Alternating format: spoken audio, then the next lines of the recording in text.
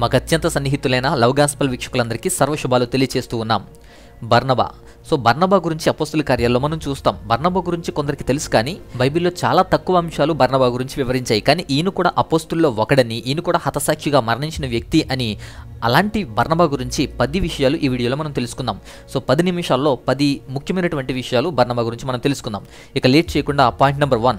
మొదటి పాయింట్ ఏంటంటే బర్నబా అనేది ఆయన పేరు కాదు. ఆయన నిక్ నేమ్ మాత్రమే. సో బర్నబా అని మనం పిలుచుకుంటున్న పేరు అసలు పేరు కాదు. ఆయన అసలు పేరు యోసేపు. సో జోసెఫ్ అని ఉంటుంది. బర్నబా అంటే సన్ ఆఫ్ ఎంకరేజ్మెంట్ అని అర్థం. అంటే ఆదరణ పుత్రుడు హెచ్చరిక పుత్రుడు అని అర్థాలు వస్తాయి.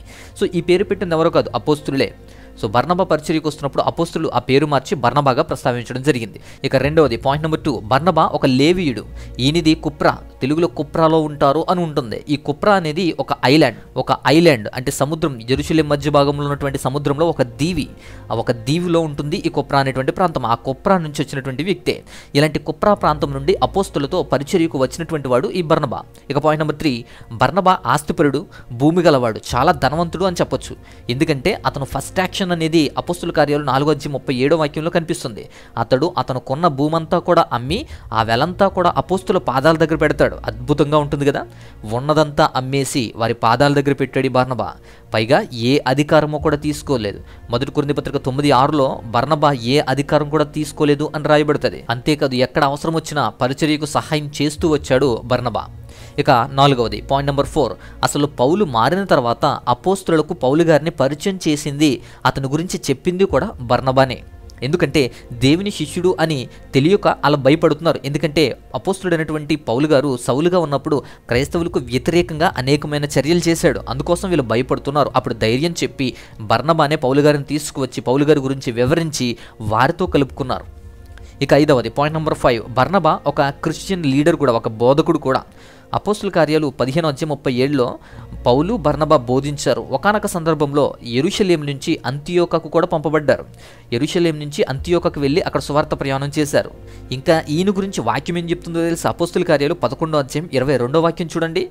పరిశుద్ధాత్మ కలిగినటువంటి వ్యక్తిగా బర్ణబాన్ చూపిస్తున్న వాక్యం. పరిశుద్ధాత్మ కలిగినవాడు విశ్వాసము కలిగినవాడు సత్పురుషుడు అని తెలియజేస్తుంది. సత్పురుషుడు అని వాక్యం తెలియజేస్తుంది. అంతేకాదు అనేకులను ప్రభు వైపు నడిపించినటువంటి వాడు బర్ణబా మొట్టమొదట క్రైస్తవులు అనబడిరి అనే వాక్యం మనం చదువుతాం. మొట్టమొదట క్రైస్తవులు అనబడింది ఎక్కడో తెలుసా? అంత్యోకలో. ఆ అంత్యోకలో వారిని బలపరిచింది బర్ణబా అండ్ పౌలు. ఇద్దరూ కూడా బలపరిచారు.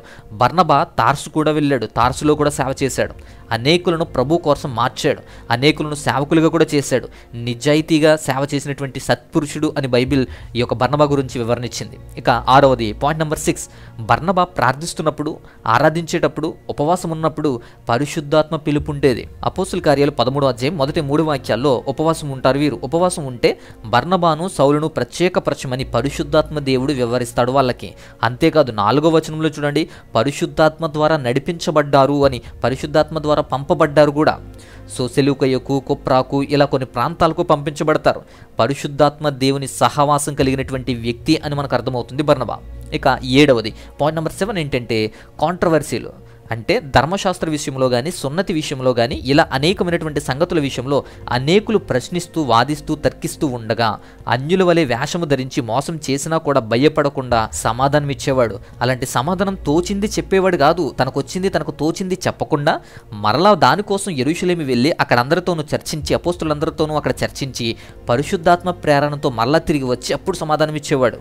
అపోస్తుల కార్యాలు పదిహేను అధ్యాయం మొదటి ఇరవై ఒకటి వాక్యాలు కూడా చూస్తే మనం ఇవన్నీ గ్రహిస్తాం. అంతేకాకుండా అనేకులను ముఖ్యంగా అన్యులను అనేకులను మార్చి వారికి బోధించినటువంటి వ్యక్తి బర్ణబా గలతి పత్రిక రెండవ అధ్యాయం మొదటి పది వాక్యాల్లో యూదులు అన్యుల వేషం వేసుకుని మరీ తర్కించేవారు ఎంతో. అలా తర్కించినా ప్రశ్నించినా ఆయన చక్కగా సమాధానం ఇచ్చేవాడు ఇక ఎనిమిదవది. పాయింట్ నెంబర్ ఎయిట్ ఎప్పటి వరకు ఎంత చక్కగా పౌలు బర్ణబా కలిసి మెలిసి పనిచేశారు? కలిసి మెలిసి బోధించేవారు? వారిద్దరూ అనేకులను అనేక సంఘాలు కట్టి అనేకులకు బోధించారు. కానీ కలిసి పనిచేసిన బోధించిన ఒక్క చోట మాత్రం ఇద్దరూ కూడా వేరు వేరు మాటలతో విడిపోతారు. అక్కడ తర్కం పెట్టుకుంటారు గొడవ పెట్టుకుంటారు. అపోస్తుల కార్యాలు పదిహేను అధ్యాయం ముప్పై ఆరు నుంచి నలభై ఒకటి వాక్యాలు చూస్తే గనక వాక్యము ప్రకటించిన వారందరినీ కూడా మరలా తిరిగి కలిసి వారి క్షేమం తెలుసుకోవడానికి వారి యొద్దకు వెళ్ళాలని ఇద్దరు కూడా అనుకుంటారు. ఇద్దరు కూడా అనుకుని వెళ్ళాలని నిర్ణయించుకున్న తర్వాత మార్కుని వెంట పెట్టుకుని వెళ్ళాలి అని జాన్ మార్క్ని వెంట పెట్టుకుని వెళ్ళాలని బర్ణబ అనుకుంటారు.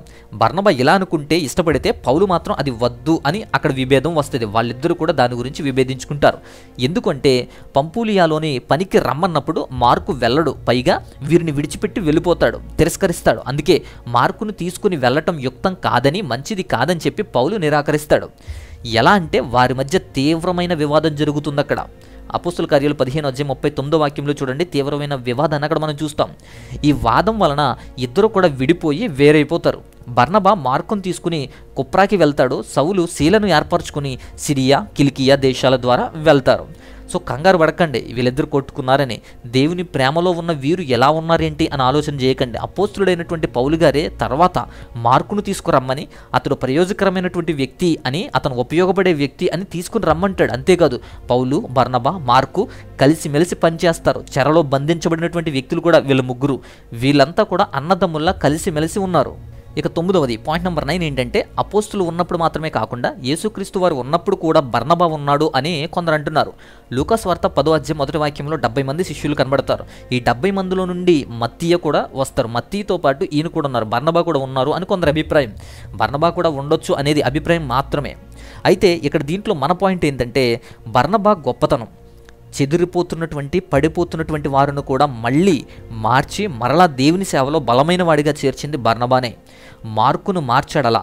ఆఖరికి పౌలు గారు వివాదం పెట్టుకున్నాడు. ఈ మార్కు కోసం పౌలు గారితో కూడా వివాదం పెట్టుకొని మరలా మార్కుని ప్రయోజనకరమైన వాడిగా చేసి పౌలు దగ్గరికి తీసుకొస్తాడు. మనము మనతో ఉన్నవారిని కూడా పాడవనవ్వకుండా పడిపోకుండా తిరిగి మళ్ళీ మార్పు తీసుకురావటం అనేకమైన అన్యజనులను దేవుని వైపు తిప్పటం అనేకమైన తర్కాలకు వాదనలకు సమాధానం ఇవ్వటం దేవుని కోసం హతసాక్షిగా మారడం బర్ణబా విశేషం. ఇక పాయింట్ నెంబర్ టెన్. పదవది ఏంటి అంటే దేవుని కొరకు హతసాక్షిగా మారిన వ్యక్తి కూడా ఈ బర్ణబా ఈ బర్ణబ దేవుని కోసం చనిపోయినటువంటి వ్యక్తే. ఎందుకంటే ఇది బైబిల్లో మనకు కనపడదు కాబట్టి హతసాక్షి అయ్యాడో లేదో చాలామందికి తెలియదు.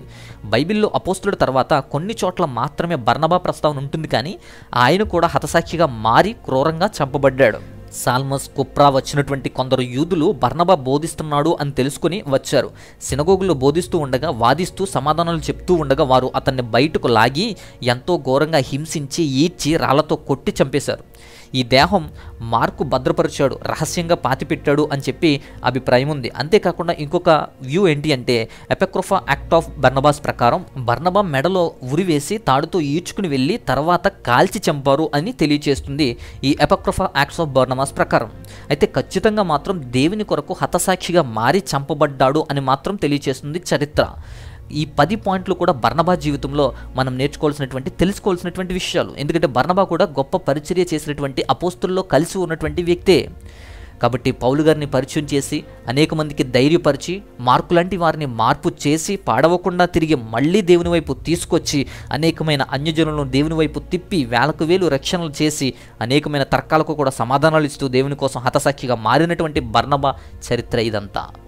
ఈ తక్కువ సమయంలో ఈ పది పాయింట్ల ద్వారా బర్నబా గురించినటువంటి విషయాలన్నీ ఆయన చరిత్రంతా ఆయన విశేషమంతా కూడా వివరించానని నేను అనుకుంటున్నాను. కాబట్టి మీరు ఇంకాను అనేకమైనటువంటి వీడియోలు పొందగోరాలంటే కింద సబ్స్క్రైబ్ చేయండి. ఎందుకంటే ఛానల్ను చూసేటువంటి వ్యక్తులు ఎక్కువ ఉన్నారు సబ్స్క్రైబ్ చేసే వాళ్ళు తక్కువ ఉన్నారు. మరిన్ని మంచి విషయాలు మీకు అందించడానికి ఎల్లప్పుడూ ప్రయాసపడుతూ ఉంటాం.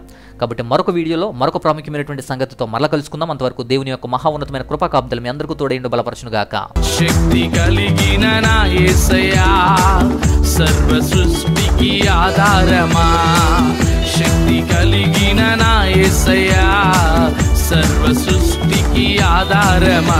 ఆరాధనకు యోగ్యుడా నా స్థుతులకు పాత్రుడా. ఆరాధనకు యోగ్యుడా నా స్థుతులకు పాత్రుడా.